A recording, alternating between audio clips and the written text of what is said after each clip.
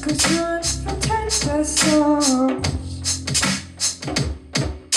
So it's yours.